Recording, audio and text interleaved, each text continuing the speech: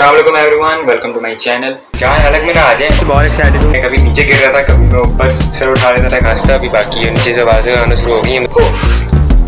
Okay पूरा चैन करते हैं। जीत गया क्या हो गया? टी ट्वेंटी वर्ल्ड कप 2022 के लिए टीम इंग्लैंड ने अपना स्क्वाड अनाउंस कर दिया है और एक दो बड़े चेंजेस हैं। उन पर नज़र डालते हैं। पहले स्क्वाड की अगर बात करें तो कप्तान Jos Buttler wicket keeper batsman और कप्तान उसके अलावा Moeen Ali Harry Brook Sam Curran Chris Jordan Liam Livingstone David Malan Adil Rashid Phil Salt Ben Stokes Reece Topley David Willey Chris Woakes Mark Wood Alex Hales और reserves में इनके पास जो हैं, वो हैं ग्रीसन डायमंड मिल्स और Liam Dawson और जो एक दो चेंजेस की मैं बात कर रहा था स्कॉड में, वो ऑब्वियसली एक तो Jason Roy explosive batsman power play में एक वन साइड मैच कर देते हैं अपनी टीम के लिए।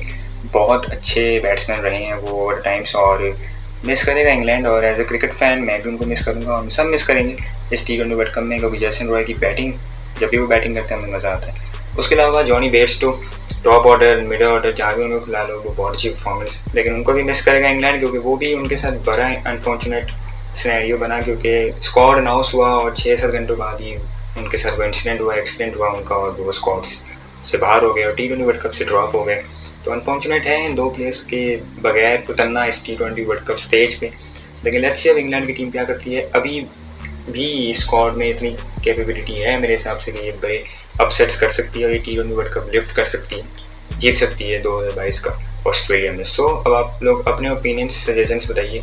टीम इंग्लैंड के स्क्वाड को देख के क्या आपको क्या लगता है कि कितनी चांसेस हैं इस टी ट्वेंटी वर्ल्ड कप में टीम इंग्लैंड के? ओके अब बात करते हैं साउथ अफ्रीका के T twenty World Cup squad की, जो कि अभी अनाउंस हुआ है। साउथ अफ्रीका के स्क्वाड की बात करें तो उसमें कप्तान Temba बूमा Quinton de Kock Hendricks ग्रासन visa Hendricks केसो महाराज Aiden Markram Devine Miller lungi Nigdi Eran Nokia when पांडर ड्वैन Pretorius Kagiso Rabada राइडी Roseau इनकी इनका कम बैक हुआ है से बात तो लेट्स होप के लेट्स सी क्या करते हैं।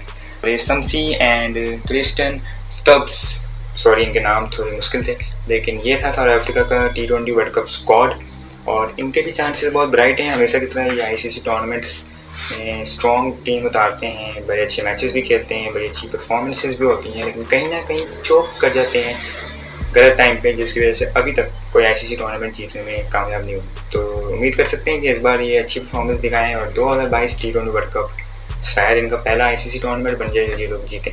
तो दोनों टीमों के लिए, इंग्लैंड और साउथ अफ्रीका के लिए ऑल द बेस्ट बाकी आप लोग अब बताइए कि इन दोनों टीमों के स्क्वाड्स को देखकर आपकी क्या प्रडिक्शन है?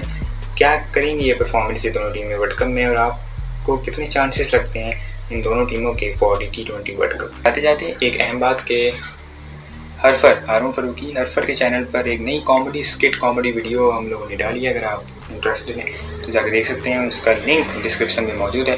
बाकी मेरे चैनल को सब्सक्राइब कीजिए और अभी के लिए इतना ही। आप लोगों से बहुत जल्द मुलाकात होगी, तब तक के लिए अल्लाह हाफिज़।